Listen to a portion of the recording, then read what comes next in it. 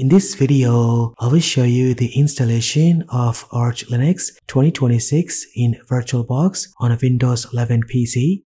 This is a step-by-step -step guide to installing the new Arch Linux on VirtualBox.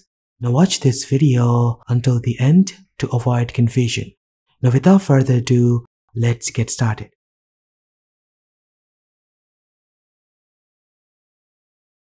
Since we are installing Arch Linux in a VirtualBox, you must have enabled hardware virtualization on your PC or laptop. Now by default, this feature is enabled and allows you to run and test any OS in a virtual environment.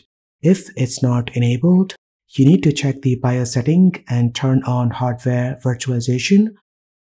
Once it's enabled, you can verify the status by opening the Windows Task Manager, then select CPU and you can check the virtualization status. Before starting this video, I want to mention that we are going to install Arch Linux on top of Windows operating system running inside an isolated environment which has nothing to do with Windows 11.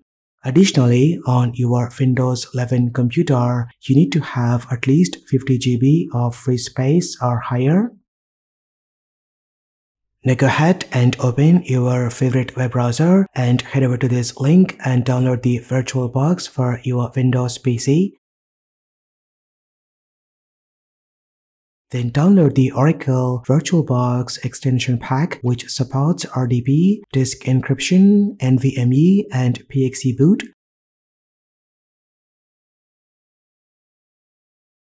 Then download the Visual C++ dependency required for VirtualBox to run.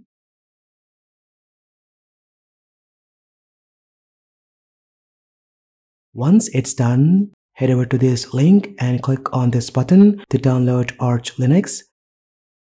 At the time of recording this video, Arch Linux 2026 is the latest version. You can choose the default 64-bit ISO image and download.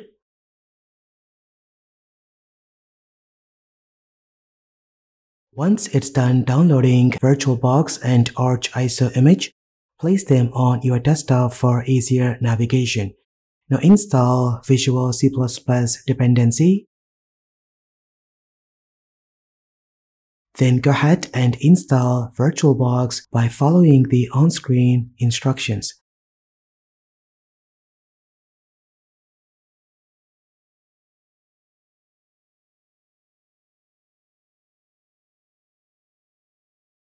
Once you're done, just go ahead and close the VirtualBox and install the extension pack. After installing VirtualBox, it's better to restart your computer so the VBox kernel driver can take effect. Before launching the VirtualBox, make sure the VirtualBox kernel driver is loaded. To check, open command prompt as administrator and type this command and press enter. If it's not running, use this command to start the VBox kernel driver. Now as you can see, this is the user interface of the VirtualBox. We're going to go ahead and create a brand new virtual machine for Arch Linux. To do so, click on the New button, then go ahead and name the virtual machine. This is the folder location where all the VM files are stored. Then set the type as Linux, distribution and OS version as Arch Linux. Then click specify hardware and allocate the amount of RAM and CPU cores for the Arch Linux virtual machine. In my case, I'm going to use 10 GB of RAM and 4 CPU cores for best performance. Make sure the slider stays within the green range. Then click on hard disk. Now allocate at least 30 GB of storage or more. Make sure you have a free space on the host. Then click finish. This is the summary of the virtual machine. To optimize performance, select the VM, then click settings and switch to expert mode. In the general settings under advanced, Set the shared clipboard to bidirectional to enable clipboard sharing between Windows 11 and Arch Linux. I'm not going to enable drag and drop and I will leave it disabled.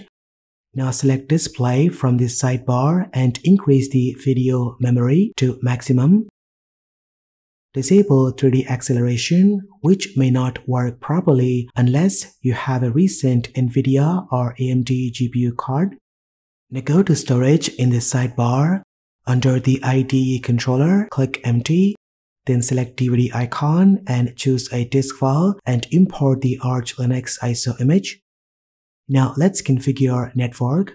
You can use the default NAT, but if you want this virtual machine to be accessed from another computer on the same network, just go ahead and choose bridged adapter this will give Arch Linux its own IP address, allowing remote access via SSH.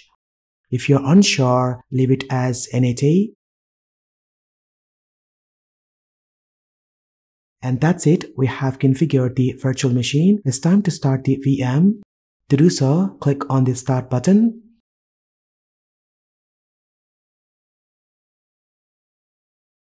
Then click inside the virtual machine to begin installation. Now use the arrow keys to select Arch Install Media and press Enter to start the installer. Now keep in mind, when you click inside the virtual machine, the cursor is captured by the guest OS. To release, press the right control key on your keyboard to regain the control of the host OS.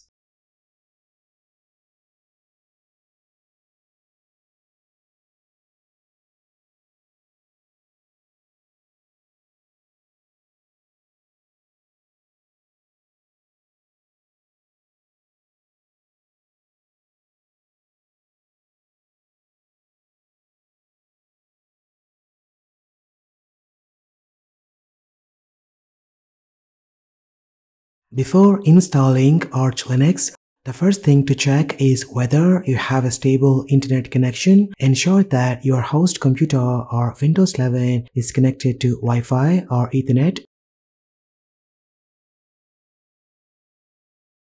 Now go ahead and type this command to synchronize the package database.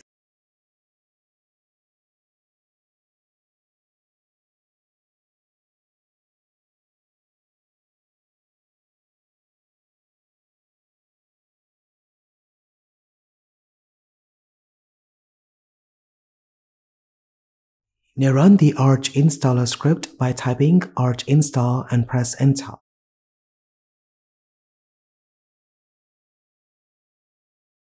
Now use the arrow keys to navigate through the options and enter key for selection.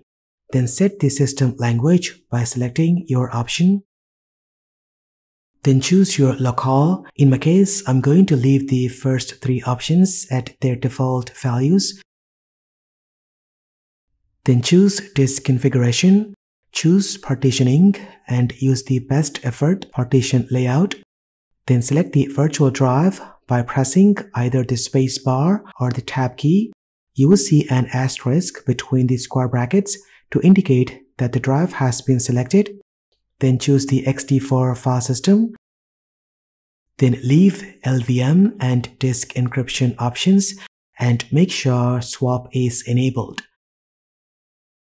Next, select bootloader as grub, which works better.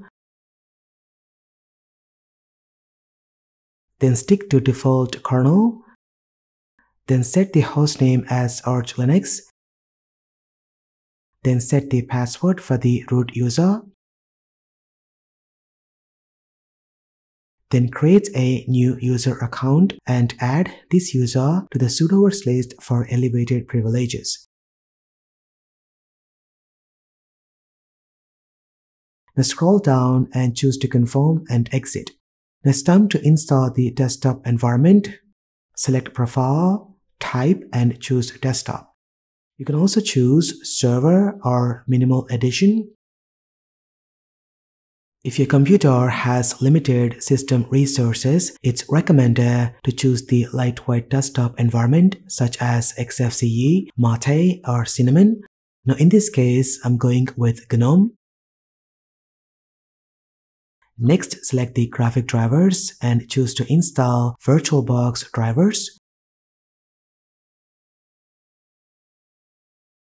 Now choose the applications you want to use and set the audio server as Pipewire.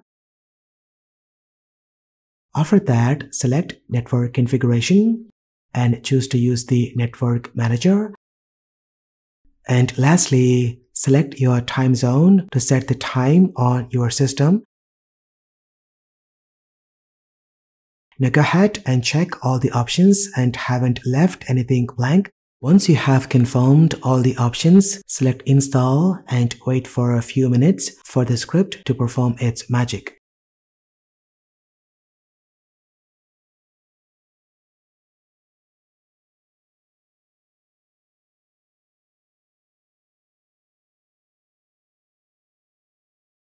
Once it's done, you will see a prompt to perform post installation. Select yes to enter the chroot environment and start customizing your new Arch installation. It's time to install lightweight GUI applications like Firefox, VLC, LibreOffice, and some essential packages.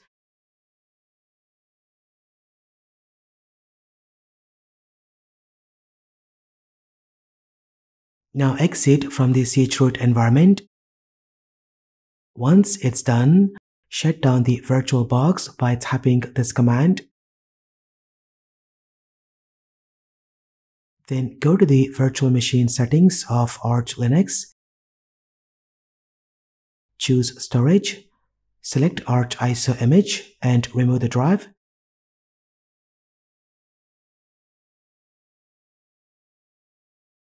Now turn on the virtual machine to boot into Arch.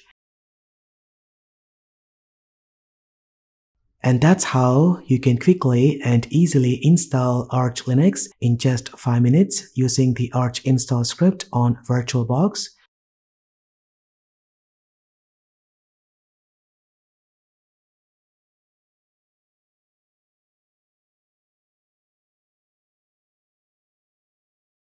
It's time to install VirtualBox guest additions that will enable 3D acceleration, full screen support, clipboard sharing, and more functionalities. To do so, first open Terminal or Console and run this command to update your system. Then type this command to install kernel headers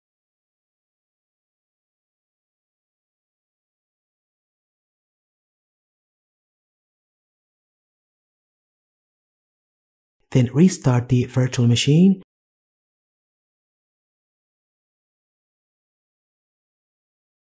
Now using the menu bar on the top, select Devices, choose Insert Guest Additions. Once it's mounted, open File Manager and you'll see a CD icon on this sidebar. Just go ahead and click on it and copy all files and paste them into the Documents directory. Then right-click and open Console or Terminal. We need to install this file to enable the extra features of the VirtualBox. To do so, first change the permissions to this file by running this command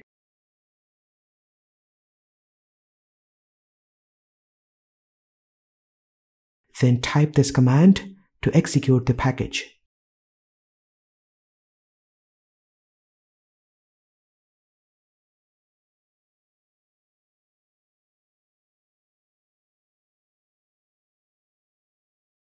And that's it. Guest addition support is added to Arch Virtual Machine.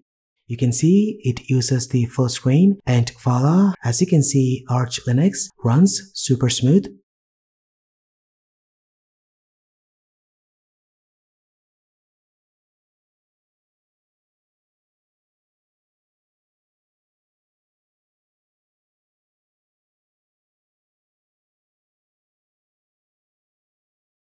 If in case you decide to remove the Arch Linux, first turn off virtual machine.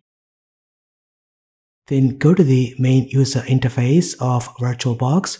From the sidebar, select Arch and right click and choose remove and delete all files. And that's pretty much it. What do you guys think about this? Let me know in the comment section down below.